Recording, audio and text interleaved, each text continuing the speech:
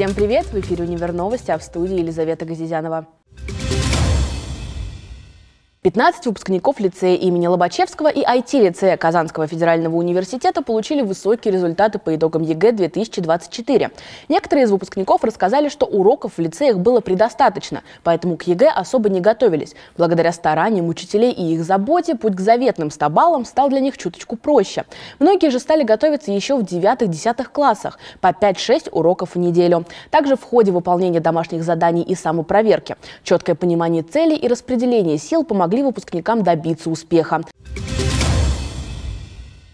На портале государственных услуг Российской Федерации с этого года можно подать заявку о целевом обучении и заключить договор с работодателем, сообщил ответственный секретарь приемной комиссии Казанского федерального университета Александр Бибик.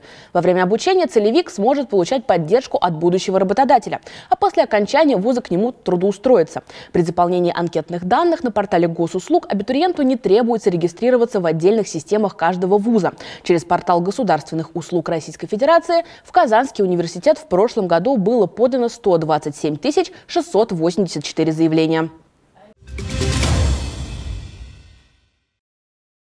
14 июня в университетской клинике Казанского федерального университета состоялось праздничное мероприятие, посвященное Дню медицинского работника. Подробнее о сложной работе спасателей в белых халатах и о том, как прошел праздник, узнаете далее.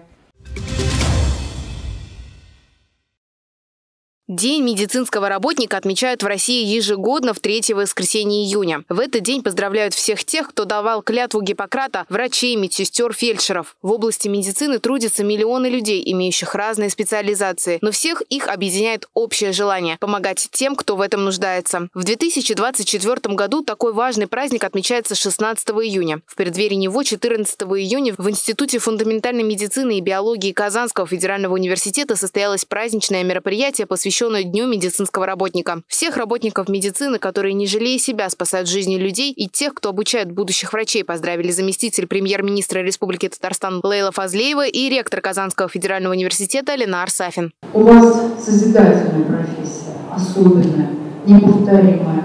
Человек, помогающий людям. Это всегда а, такое, такое словосочетание, которое символизирует медика, врача, медицинского работника – любого человека, который работает в учреждении здравоохранения.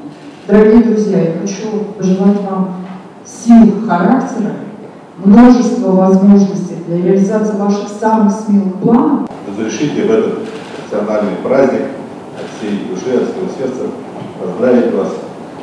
Вы знаете, вы делаете очень сложную, иногда, я бы сказал, наверное, невыполнимую работу, но своими действиями профессиональными вы спасаете жизнь.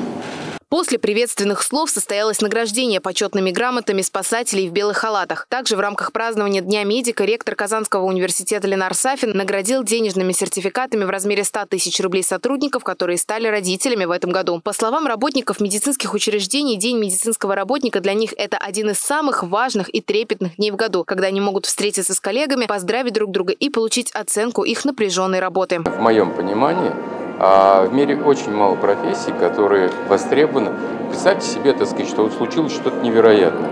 И кто будет нужен людям, когда, так сказать, там нет ни связи, ни света, еще чего-то. Врач всегда нужен будет. Это самое важное. Ну и второй момент. Будет отмечаться День медицинского работника. Причем есть День анестезиолога, День кардиолога, День медицинской сестры. А вот этот день, он как День Победы. Он объединяет всех. День медицинского работника – это мой один из самых любимых праздников, потому что я из семьи потомственных врачей. Моя мама была врачом, фтизиатором, она преподавала на кафедре туберкулеза в Казанском государственном медицинском институте имени Сергея Владимировича Курашова. Традиционно мы все к нему готовимся, а, потому что это наш профессиональный праздник – где все мы можем э, немножко отойти от работы, взглянуть друг на друга, улыбнуться, оценить свою работу, увидеть работу коллег еще раз. Э, поэтому это всегда э, подведение определенных итогов, это всегда возможность порадоваться за коллег, за их достижения, потому что все равно каждый труд имеют свой результат. Помимо награждений, в этот знаменательный день для всех гостей провели торжественный концерт, где каждый номер был наполнен благодарностью к такой ответственной и благородной профессии. Также Ленар Сафин отметил, что все врачи, профессорско-преподавательский состав, медсестры, фельдшеры будут награждены премиями. Аделина Абдрахманова, Тимур Ахметов, Универновости. По статистике, сейчас на Земле более 50% людей имеют карие глаза. Ученые утверждают, что 10 тысяч лет назад на нашей планете все люди были кореглазыми. Генетики заметили, что ген карих глаз является самым сильным. Он побеждает гены, которые отвечают за голубой и зеленый цвета глаз. Однако не все так просто. Как оказалось, карих глаз по сути вообще не существует, а все люди на самом деле голубоглазые. Оттенок глаз зависит от радужной оболочки. Это особая структура, которая отвечает за контроль диаметра и размера зрачка. Она ограничивает количество света, который через него проходит и достигает сетчатки. В свою очередь, радужка отвечает за цвет глаз человека. В зависимости от ее пигментации и того, как свет рассеивается, проходя через радужную оболочку, мы видим различные оттенки. Именно поэтому у некоторых глаза меняются вместе с освещением. При изменении яркости и угла падения лучей цвет может стать другим. Сама оболочка состоит из двух слоев слоев. Передний слой называют мезодермальным, а задний – эктодермальным. Первый отвечает за то, какой оттенок принимают глаза. Чем больше там концентрации меланина, тем темнее глаз. Кореглазых э, людей на планете больше, в основном 80%. Где-то 8-10% счастливчиков голубоглазых, 2% зеленые глаза – а, бывает еще такая особенность, как гетерохромия, то есть по-разному от, откладывается количество пигментов в правом и левом глазу, и поэтому люди бывают с разными глазками. Один глаз голубой, другой зеленый, например, или голубой и коричневый. Бывает еще у нас альбиносы, есть такая категория людей, где у них и светлая кожа, и светлые волосы, брови, ресницы, потому что отсутствует или практически отсутствует количество пигмента меланина в организме. И, соответственно, когда солнечный свет попадает на радужку, она, вернее, в глаз, то э, свет отражается от тонкой сетчатки, под которой находятся крупные сосуды, и глаза кажутся красными. Длительное время ученые изучали природу цвета человеческих глаз. В результате длительного исследования выяснилось, что у голубоглазых практически отсутствует пигментация верхнего слоя радужки. Из-за этого она отражает больше света, чем поглощает. Отраженные световые волны короче, поэтому они воспринимаются людским зрением как голубой цвет. У кореглазых же этот слой сильно пигментированный, что позволяет радужке поглощать больше света. Из-за этого она и кажется темной, однако нижняя часть радужки и у кореглазых, и у голубоглазых, и у зеленоглазых, и у сероглазых полна меланина. Это означает, что все мы по факту обладаем коричневыми глазами, и под синей радужкой скрывается темный цвет. Цвет глаз меняется, во-первых, при рождении. Доказано, что уже свыше 80% детишек рождаются голубоглазыми. А потом в течение нескольких недель, месяцев а, увеличивается отложение пигмента в радужке – и в зависимости от этого формируется тот или иной цвет радужки. А, то есть, например, сероглазые детки уже к году определились все, что они остаются сероглазыми. Дальше количество пигмента меняется, и э, синеглазые детки у нас примерно к полутора годам уже остаются синеглазые. А, те детки, у которых карие глаза, немножечко со временем увеличивается количество пигмента, и к трем годам формируется уже основной цвет – но нужно отметить, что пигмент в глазу, он только коричневый. Его не бывает ни зеленого, ни синего, ни голубого. То есть просто от того количества, которое пигмент откладывается в радужке, вот от этого формируется а, цвет радужки у нас. Также во врачебной практике существует мнение, что люди с голубыми глазами в темноте видят гораздо лучше. Исследования показали, что люди со светлыми глазами имеют в среднем на 20% больше палочек в сетчатке глаза, чем люди с карими глазами. Палочки – это светочувствительные клетки, которые отвечают за зрение в темноте. Однако разница в остроте зрения в темноте между людьми с разным цветом глаз невелика. В большинстве случаев люди с голубыми глазами могут видеть в темноте лишь на несколько метров дальше, чем люди с карими глазами. Кроме цвета глаз, на остроту зрения в темноте также влияют другие факторы, такие как возраст, общее состояние здоровья и наличие каких-либо заболеваний глаз. Сам цвет глаз, он на остроту зрения не влияет.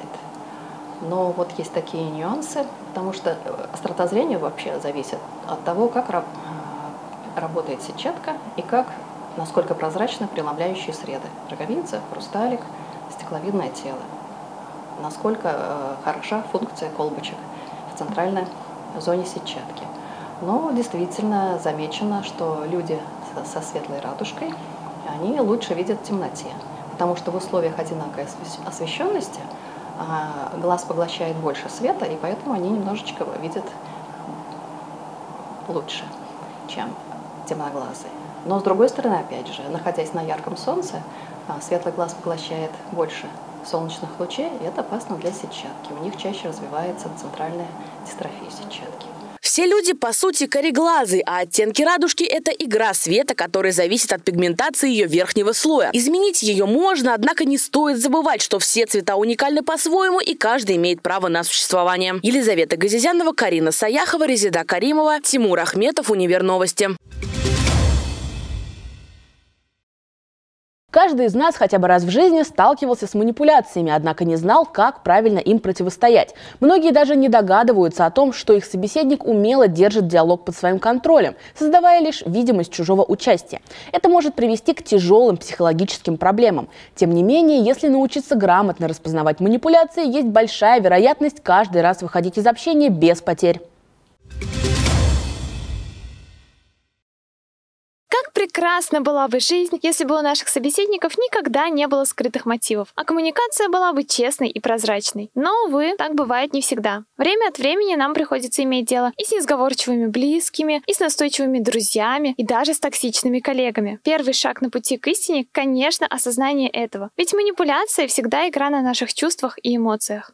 К сожалению, в современном мире манипуляция – это очень распространенное явление, как и среди молодежи, так и а, на ну, людей постарше. Да? То есть э, понятно, что уже люди такого более зрелого поколения, они опираются на не, некоторые иные ценности. Да? То есть и есть такая ценность, как искренность, как общение, да? то есть как душевное общение.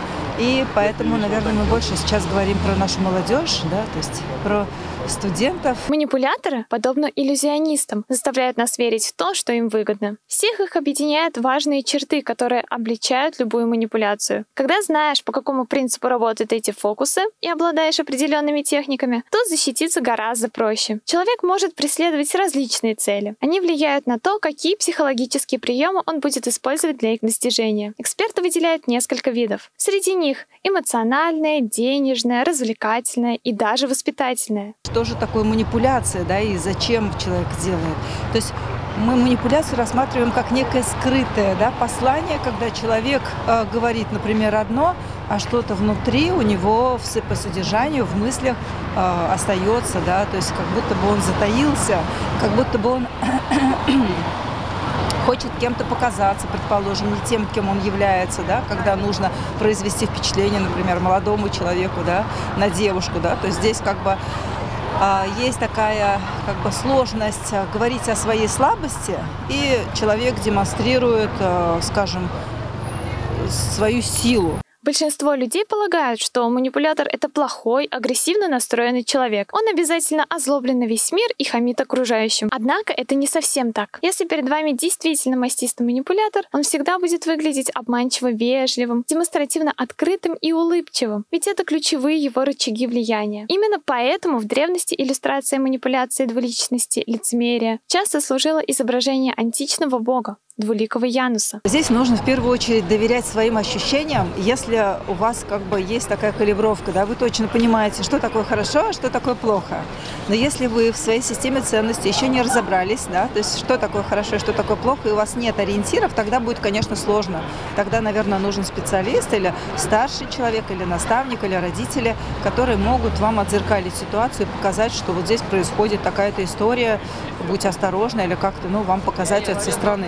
Потому что если у тебя нет выстроенных ориентиров внутренних, да, ценностных, будет очень сложно не попасться в это. Если с описанием манипулятора и его техник воздействия все более-менее ясно, то с тем, как противостоять ему, нет. Специалисты рекомендуют обращаться к собеседнику по имени, чтобы расположить его к себе. Важно помнить об этом совете и отвечать на манипуляции с пользой для отношений. Когда вы грамотно реагируете на игру партнера, манипуляции дают отличный шанс укрепить связь и почувствовать себя лучше. Ангелина Михеева, Резида Каримова, Александр Антонов, Универ Новости. На этом все. В студии была Елизавета Газизянова. Сюжеты из выпуска ты сможешь найти в наших социальных сетях, а также на сайте телеканала. До новых встреч!